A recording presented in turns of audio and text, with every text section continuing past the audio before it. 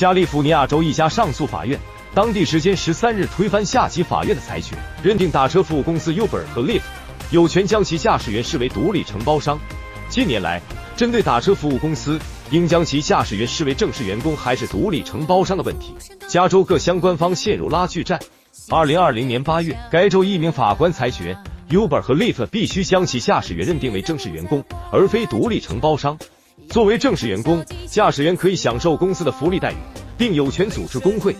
据美国消费者新闻与商业频道报道，二零二零年十一月，选民投票批准了加州二十二号提案，允许 Uber 和 Lyft 等打车及送货服务公司将其驾驶员归类为独立承包商。为使该提案通过，Uber、Lyft、DoorDash 和 Instacart 等公司为投票花费近两亿美元。《华尔街日报》报道称，这些公司向其驾驶员承诺，如果提案获得通过，他们将享有一些灵活性和替代福利。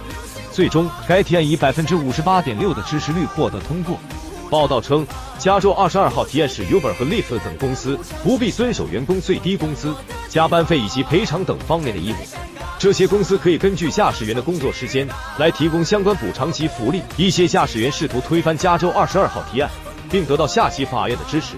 二零二一年，加州一名法官裁定该提案违宪。随后，支持加州二十二号提案的各方对下级法院的裁定提出上诉。三月十三日，加州第一区上诉法院推翻下级法院的裁决，支持 Uber 和 Lyft 等公司在加州将驾驶员视为独立承包商。Uber 首席法务官托尼·维斯特十三日表示，加州二十二号提案为基于应用程序的工作方式保留了独特的灵活性。当日的裁决是打车服务平台驾驶员以及投票支持二十二号提案的数百万加州人的胜利。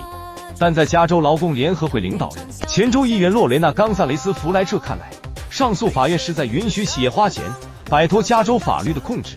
他说：“今天上诉法院选择与强大的公司而非劳动人民站在一起。”